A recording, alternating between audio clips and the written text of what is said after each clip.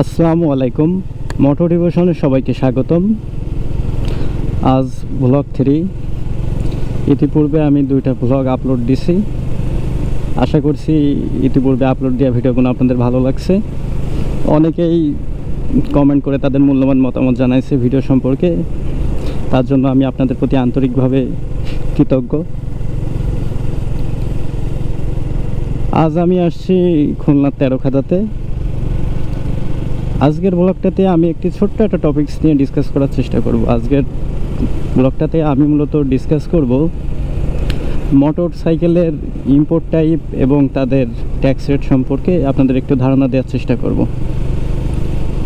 Motor বাইকের import type বলতে আমাদের দেশে যে সকল মোটর সাইকেলগুলো পাওয়া যায়, তাদের ইম্পোর্ট অনুযায়ী কিংবা ইম্পোর্টের ধরন অনুযায়ী যে যে ক্যাটাগরিতে ভাগ করা যায় এবং তাদের যে ট্যাক্স রেটটা এটা সম্পর্কে আমি একটু ডিসকাস করার চেষ্টা করব। আমাদের দেশে যে সমস্ত মোটরসাইকেল পাওয়া যায়, এগুলোকে আমরা ইম্পোর্ট রেট ইম্পোর্ট টাইপ অনুযায়ী চারটে ক্যাটাগরিতে ভাগ করতে পারি।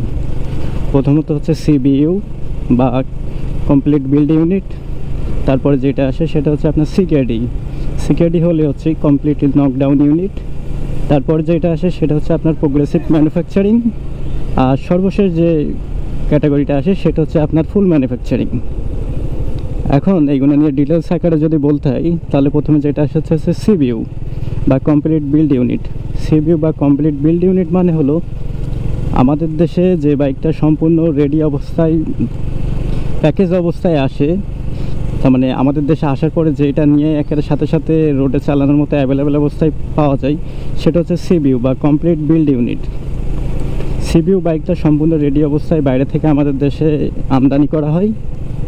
এক্ষেত্রে এই বাইকগুলো যেহেতু বাইরে থেকে পুরোপুরি প্যাকেজিং অবস্থায় আমদানি করা হয়, সেহেতু এই বাইকগুলোর ট্যাক্স রেট সব থেকে বেশি। এই বাইকগুলোর ট্যাক্স রেট হয়ে থাকে একশো চুয়ান্ন চুয়ান্ন পার্সেন্ট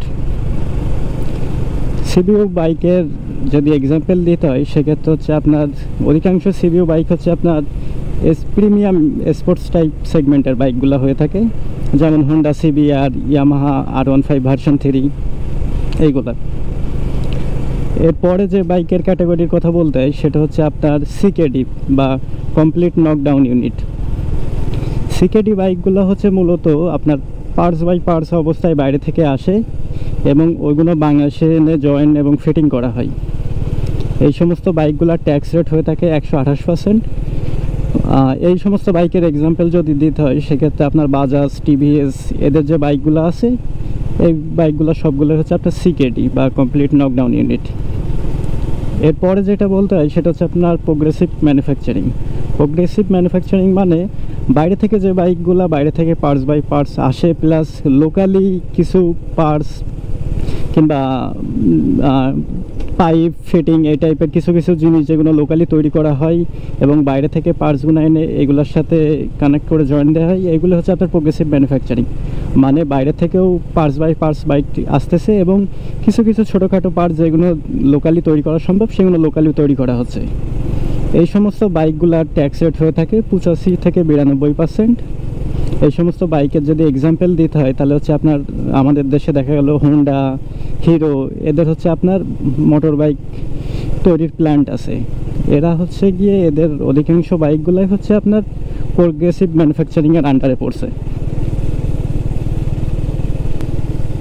এরপরে যে বিষয়টা নিয়ে বলতে হয়, সেটা হচ্ছে আপনার ফুল ম্যানুফ্যাকচারিং একটি বাইকের ইস অ্যান্ড এভরিথিং যখন লোকালি তৈরি করা হয়, সেই সমস্ত বাইকগুলোকে আপনার ফুল ম্যানুফ্যাকচারিং বলা হয়। ফুল ম্যানুফ্যাকচারিং বাইকের এক্সাম্পল যদি বলতে হয়, সেক্ষেত্রে আমাদের রানার বাইকের কথা বলতে হয়। আমাদের দেশে রানারের যে বাইকগুলো পাওয়া যায়, আমরা জানি যে এগুলার আপনার, এগুলো তুলনামূলক সস্তা হয়ে থাকে। কারণ এই সমস্ত বাইক হচ্ছে আপনার ফুল ম্যানুফ্যাকচারিং করা হয় বাংলাদেশেই। এই সমস্ত বাইকের ট্যাক্স রেট পঁচিশ থেকে পঁয়ত্রিশ পার্সেন্ট হয়ে থাকে। যেহেতু এই সমস্ত বাইক পুরোটাই বাংলাদেশে তৈরি করা হচ্ছে, সেহেতু এই সমস্ত বাইকে আপনার ট্যাক্স রেটটাও কম এই জন্য এই ক্যাটাগরির বাইকগুলো আপনার অ্যাফোর্ডেবল হয়ে থাকে।